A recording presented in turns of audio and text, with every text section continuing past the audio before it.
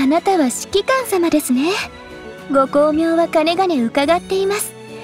私はロンファン所属のディーアン。今後ともごひいきに。あ後ろに積み上げているものですか？えー、っとうーんつまらない挨拶のお土産かし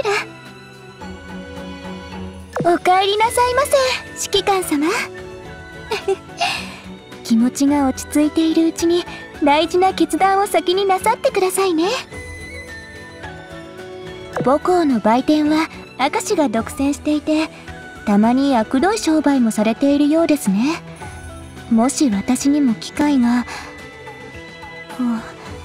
今はそういう決まりがあるから難しいですか？シュン。家計の感情はきめ細かく儲けは全力で。母校では全部欲しいという子が多いのですか？それはまあちょっとわがままな子が多いのですね。執務室の設備を買い替える予定はあります？よかったらリンアンに任せてもらってもいいですか？一番お安くご用意しますよ。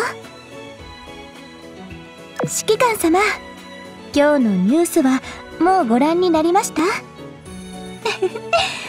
最新の情勢を追うことで戦機と勝機をうまくつかめるようになるのです。衣装ですか？うーん確かにスースーしてはいますね。もうこのままではリンアン指揮官様に助言しなくなりますよ。指揮官様新しい任務がありますよ。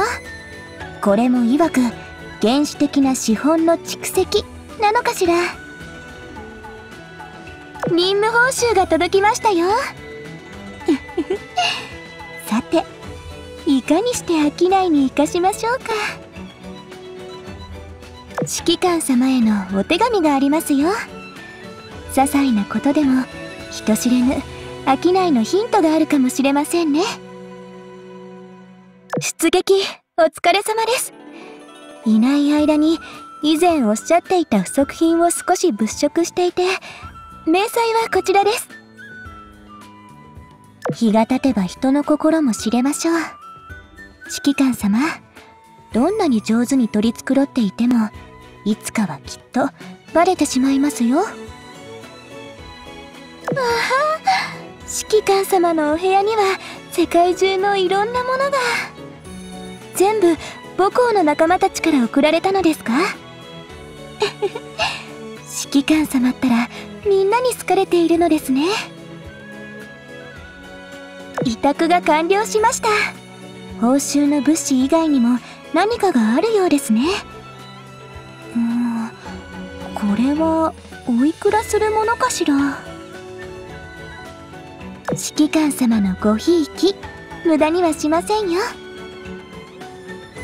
支援は任せて安心して戦ってくださいね。この航路はこれでよしと。新しいハンドの開拓もできたりして。